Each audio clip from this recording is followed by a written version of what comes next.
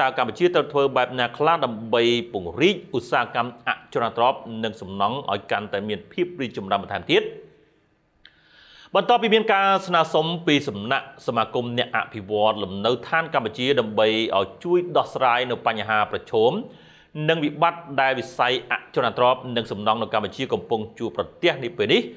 ថ្នាក់ដឹកនាំក្រសួងរៀបចំដែនដីនគររូបនីយកម្មនិងសំណង់បានបដិញ្ញានឹងជួយគ្រប់គ្រងនិងដោះស្រាយនៅបញ្ហាប្រឈមទាំងនោះឲ្យបានប្រសើរឡើងវិញជាមួយគ្នានេះថ្នាក់ដឹកនាំក្រសួងរៀបចំដែនដីនគររូបនីយកម្មនិងសំណង់ក៏បានផ្ដល់នូវធាតុចូលមួយចំនួនដល់អ្នកអភិវឌ្ឍលំនៅឋានដើម្បីធ្វើយ៉ាងណាជំរុញឲ្យឧស្សាហកម្មអចលនទ្រព្យនិងសំណង់កម្ពុជា មានការរីកចម្រើនបន្ថែមទៀតផងដែរ តទៅនេះក្រុមការងារសាវៀន Digital ខេមបុននេះលំអិតរឿងនេះដូចតទៅយើងទាំងអស់គ្នាឯឧត្តមសាយសំអាលឧបនាយករដ្ឋមន្ត្រីរដ្ឋមន្ត្រីក្រសួងរៀបចំដែនដីនគររូបនីយកម្មនិងសំណង់បានទទួលស្គាល់ថាវិស័យឧស្សាហកម្មអចលនទ្រព្យនៅកម្ពុជាបច្ចុប្បន្នពិតជាកំពុងជួបនៅការលំបាកពិតប្រាកដមែនយ៉ាងណាមិញអាដាមឧបនាយករដ្ឋមន្ត្រីអះអាងថា កន្លងមកក្រសួងបានធ្វើការងារនិងដាក់ចេញវិធានការជាច្រើនដើម្បីជួយរក្សានិរន្តរភាពនៃឧស្សាហកម្មអចលនទ្រព្យនិងសំណង់កម្ពុជា និងដើម្បីជៀសវាងការកើតមាននៅបញ្ហាផ្សេងៗនាពេលខាងមុខដែលនាំឲ្យខាត់បងទាំងពេលវេលានិងថវិកា ទន្ទឹមនេះក្រសួងរៀបចំដែនដីនគររូបនីយកម្មនិងសំណង់ក៏បានខិតខំប្រឹងប្រែងពូនជ្រុំរដ្ឋបាលសាធារណៈទំនើបដើម្បីពង្រឹងប្រសិទ្ធភាពក្នុងការអនុវត្តការងារតាមវិស័យជំនាញនីមួយៗឲ្យកាន់តែប្រសើរស្របតាមការវិវត្តរបស់សង្គមសេដ្ឋកិច្ចជាតិផងដែរយើងទាំងអស់គ្នាអត់នេះទេมันមានអីថាមានជាការលាក់លៀមអីទេថាវិស័យរបស់យើងនេះយើងជួបការលំបាកបាទ ក៏ប៉ុន្តែក៏ជាបទពិសោធន៍មួយថាទៅថ្ងៃក្រោយយើងត្រូវធ្វើម៉េចបាទដើម្បីកុំឲ្យយើងអាចថាឆ្លងកាត់អឺការលំបាកប្រភេទនេះតទៀតបាទដូចខ្ញុំបាននិយាយមិញមិញហ្នឹងថារាល់ជំហានដែលយើងបោះទៅមុខត្រូវតែជំហានដ៏ត្រឹមត្រូវហើយអត់ថយក្រោយកាត់បើបំណុះយើងខាតទាំងពេលវេលាខាតទាំងលុយ បាទអញ្ចឹងខ្ញុំសូមជំរាបជូនថាឥឡូវទស្សនវិជ្ជាទី1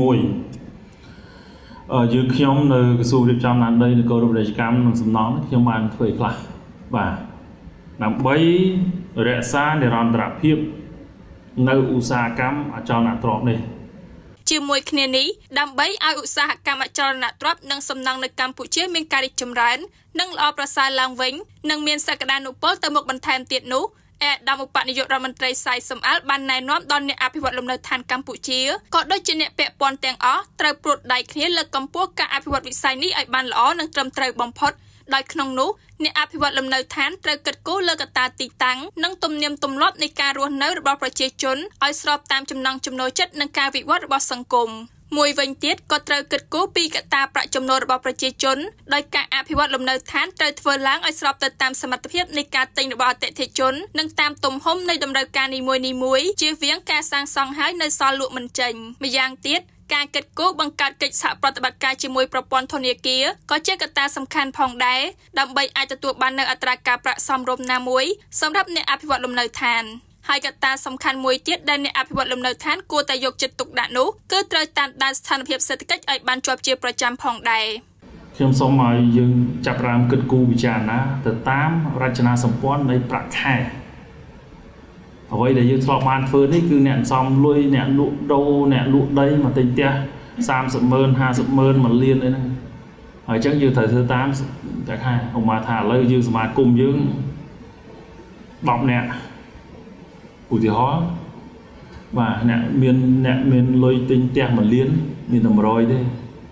មានតែ100អ្នកទេស្រុកខ្មែរអញ្ចឹងប្រហែលត្រូវធ្វើទៅ10ម្នាក់ទេយើងព្រោះយើងធ្វើ100សោះអញ្ចឹងលំនៅឋានក៏ប្រហែលត្រូវគិតទៅតាមហ្នឹងបាទហើយឲ្យស្របទៅតាមសមត្ថភាពនៃការទិញរបស់ប្រជាជនរបស់យើងចំណុចមួយទៀតខ្ញុំសូមលើកដែរថាតាមតើថ្ងៃក្រោយយើងធ្វើការមួយធនាគារ នឹងនេះយ៉ាងម៉េចព្រោះចេះយើងមិនអាចថាយើងអ្នកយើងជា bit ផងជាអ្នកតបបាល់ផងបាទនឹងវាអាចគ្រោះថ្នាក់ដែរបាទអញ្ចឹងតើយើងចែកគ្នាយ៉ាងម៉េចឲ្យស្រួលបាទហើយក្នុងអត្រាការប្រាក់ប្រភេទម៉េចដើម្បីថាឧស្សាហកម្មនេះអត់ដួលព្រោះឧស្សាហកម្មនេះមនុស្សរាប់ម៉ឺននាក់ធ្វើការ បើតាមថ្នាក់ដឹកនាំរូបនេះការលើកកម្ពស់ការប្រើប្រាស់ផលិតផលគ្រឿងបង្គុំសំណង់ក្នុងស្រុកក៏ជាកត្តាជួយរួមចំណែកដល់ការរីកចម្រើននៃវិស័យឧស្សាហកម្មនិងអចលនទ្រព្យកម្ពុជាផងដែរតួយ៉ាងកម្ពុជាមានអំណោយផលលើវត្ថុធាតុដើមមួយចំនួនដូចជាខ្សាច់ថ្មឥដ្ឋស្មាច់និងឫស្សីជាដើមដែលសុទ្ធសឹងសម្រាប់បម្រើដល់ការប្រើប្រាស់ក្នុងឧស្សាហកម្មអចលនទ្រព្យ